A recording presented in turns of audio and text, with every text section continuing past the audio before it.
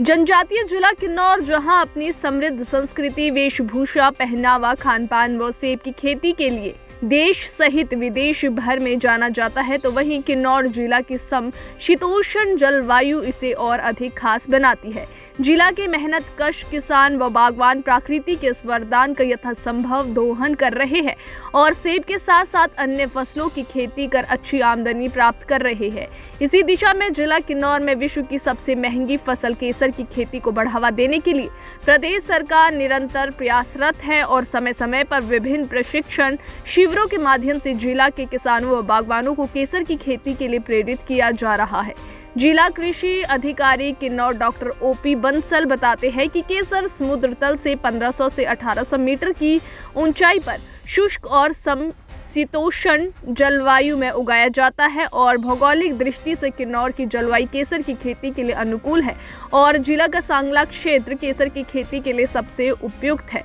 जिला में केसर की खेती होने से जहाँ किसानों और बागवानों को अच्छी आमदनी प्राप्त होगी, वहीं प्रदेश की आर्थिकी में भी वृद्धि होगी।